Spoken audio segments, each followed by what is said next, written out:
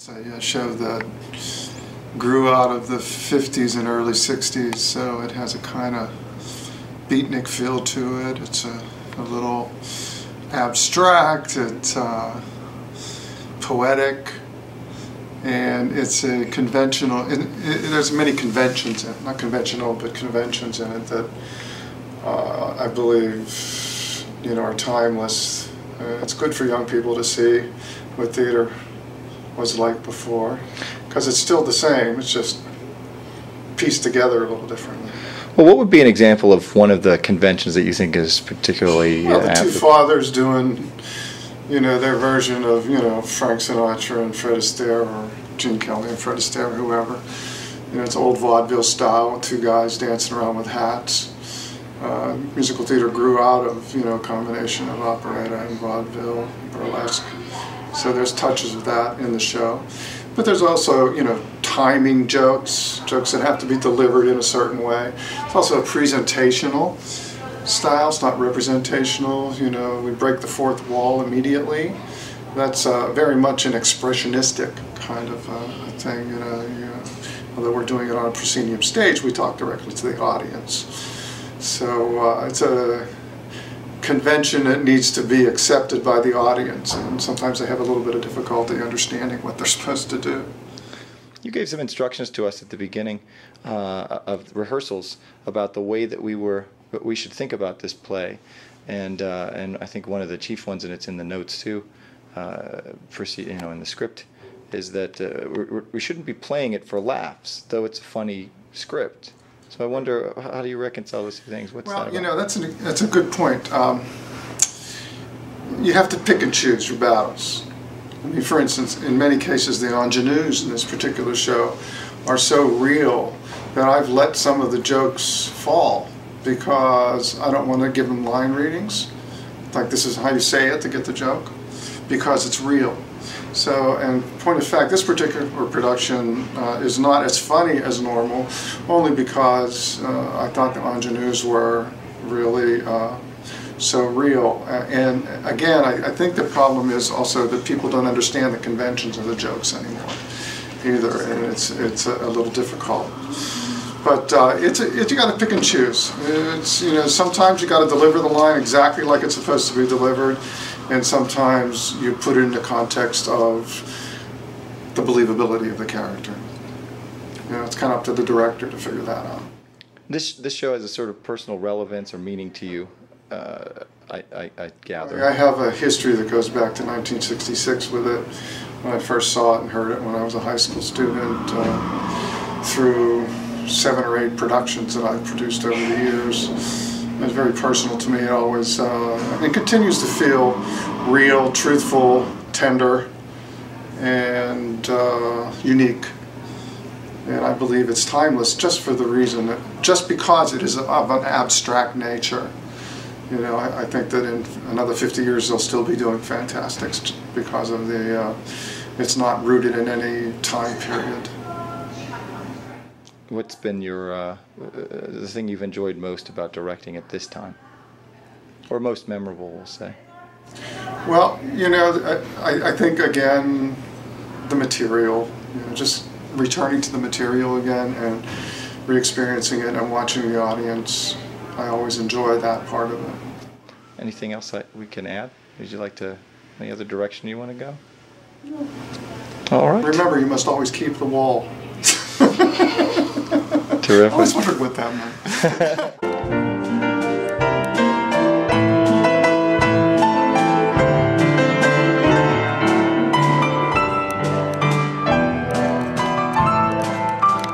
Mark, uh, this is your first time directing uh, as a musical director of the Fantasticks. Yes, it is. And uh, so, how does this show make you feel?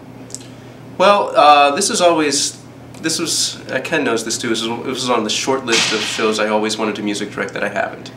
Um, uh, for several reasons, I always liked this show. I was always drawn to it. I like the, the variety in the music. Um, what Ken was talking about, the different styles that it, this show pulls on, you see that represented in the music as well. You see jazz, you see vaudeville, you see quasi-operatic stuff. Um, so I like that. I like the simplicity of it, the timelessness of it. Um, that's the stuff that's really appealed to me about it. And what's nice is after, now I, I knew the show, but I didn't know it super well. You know, I, I was very familiar with it and I liked it. But now getting to work on it and really knowing it now, I like it even more, which was a nice surprise. I didn't know that would happen, so that was nice. Great. And uh, it seems like it's a pretty challenging score. It is one of, yeah, I would say it's probably one of the more challenging um, scores for musicals. It's uh, because you're pretty much on your own. It's really relying on the piano. You know, it's a piano and then you have a harp and percussion, minimal percussion. So it's, um, you know, they want they want the piano doing a lot of stuff, and you're you gotta sound like, you know, you gotta be an orchestra basically. What's your favorite song? Oh, that's hard. That's really hard. I mean, I, I like so many for different reasons. I think that Pick they three. were you. Well, they were you is a beautiful, beautiful duet at the end of the show that I think is really um, there's something special there. Um, Try to remember is a good, a good, uh, a good example of the timelessness of the show. I mean, that's if you had to pick one song to show the timelessness, I think you might pick that one. Um, and then there's just so much humor in the show too with some of the numbers. It depends on what you pay. It's hilarious, and um, the uh, the father's numbers. I mean, there's so much. I, I, it's, it's hard for me to say. I, am gonna I'm gonna end up listening listing every song now. But but um, yeah, there's I mean there's no there's not one song I don't like or there's not one song I don't enjoy playing or hearing. Anything else you'd like to talk about? No, I just Other I mean point? I feel really fortunate to have you know have done this. I, I think it's been you know it's, it's what I wanted. It's when I always thought I'd like to do the shows because I want to work with a strong cast, a strong director director really knows the show and um, just get to really you know put on I think be true to the be true to the show itself and, and um, I've really enjoyed it. So here's Nina crouching down. Nina, what are you going to be doing today? Today, Well, I mean this evening. this evening, I will be in the box making sure everything runs smoothly. I'll be backstage and upstate up in the box, making sure everything goes okay. When you're managing the stage, That's me. we know we can count on you to put all the stuff in the right place. Well, I think. Hopefully. But we'll miss your death scenes. Oh, thanks. I'll miss doing them for you. One of the most important things that has to happen at Fantastic is the Pick Living the the dream. living the, the sorting of the glitter. Sorting of the- As far as the glitter goes, would you say that it's a, a high glitter show? Yes. It's probably one of the higher glitter shows in terms of glitter content. I save your ass every goddamn time. Oh, that's on camera now. Although we just picked the squares, we don't really go through all the glitter because it would take a while, but still. That's a lot right there. there. Is that it? There's, yeah, oh, that's, that's all the squares. Yeah. So this-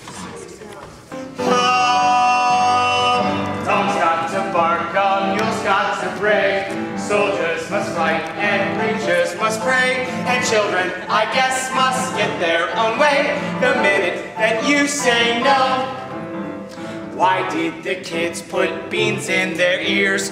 No one can hear with beans in their ears.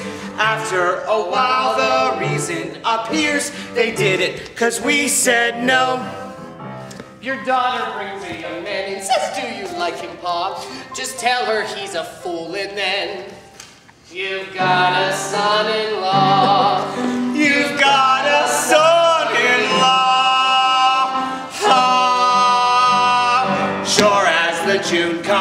after me. Sure as the night comes right after day. You can be sure the devil's to pay the minute that you say no. Make sure you never say no. Right, left, right. left, right. Left, right, left, right. It's a pig. That's why I love vegetables. You know what they're about. Life is it's very vegetarian.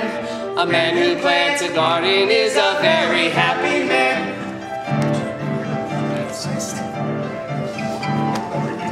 Change come up.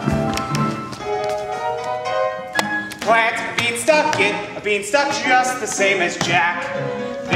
You don't like it, you can always take it back. But if your issue doesn't issue, then I wish you luck. For once you planted children, you're absolutely stuck. Every turn of green, every kidney bean.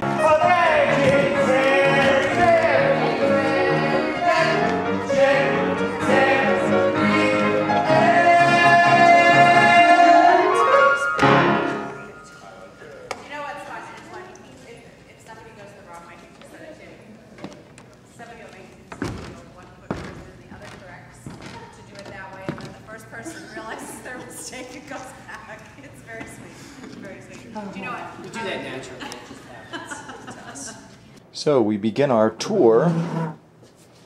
Here we are in the old man makeup room. What are you doing here? Fixing the wig. Uh oh, what's wrong with it? It's falling apart. Yes, I have beaten it up. So you are ironing and then applying in this simulated head. You've made me bald and ugly. I thank you.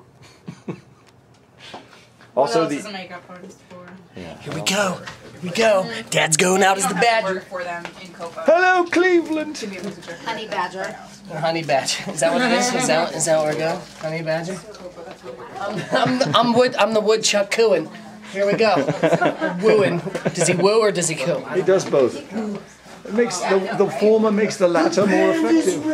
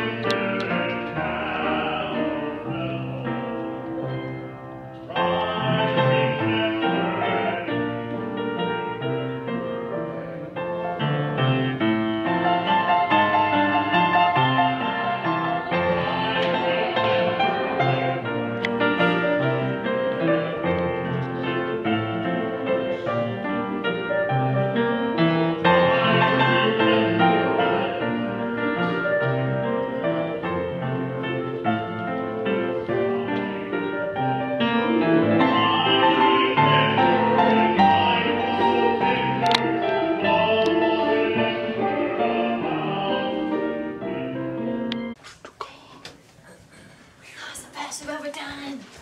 That's awesome. I actually saw you die. Wow. Hello. Oh, fun.